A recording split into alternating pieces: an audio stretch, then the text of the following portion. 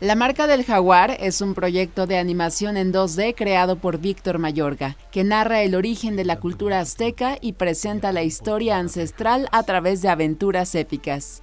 Es eso, contar una buena historia y hacerlo bien, y hacer algo que nunca se había hecho, algo que le llegue a la gente, que sientas tu identidad, pero al mismo tiempo te diviertas, llores, te rías, eh, sufras, todas las emociones que nos lleva el cine. La idea es hacer una historia épica, algo que nunca se ha hecho en México, y además tratar un tema que es muy nuestro, que no se ha, realmente no se ha tratado bien, no se ha tomado.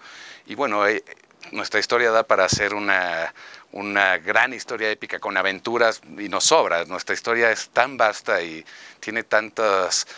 Dentro de, de, la misma historia mexicana hay tantas leyendas y tantas cosas que se pueden aprovechar y utilizarlas y hacer algo mágico, ¿no?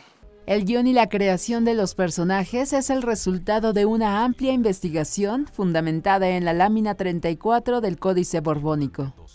Los diseñadores fueron los, ahora sí que los aztecas, porque tal cual los tomamos de los códices y de, de todos los monolitos que hay en el Museo Nacional. Es simplemente una, digamos, una adaptación al estilo de lo que ven los jóvenes actualmente en caricaturas animadas, pero en realidad eh, pues toda la vestimenta, toda esta parte rica de los personajes no la inventamos, está, está en los códices, está en el museo.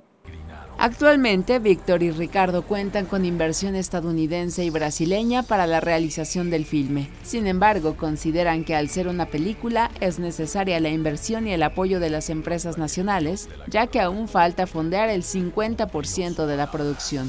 Ha sido una cuestión rara, pero sí justamente estamos en la búsqueda de esto porque no queremos hacer una película de, este, mexicana, o sea, que habla de, nuestra cultura, hacerla en otro país. Al final quisiéramos que por lo menos el 50% sea de inversionistas este, mexicanos o de gente que, que nos apoye, porque si no, lo, como dice, lo vamos a tener que, hacer en Brasil y pues es, es, como raro hacer una película así en otro país. Con información de Ana Karen Alvarado e imágenes de Eric Gómez.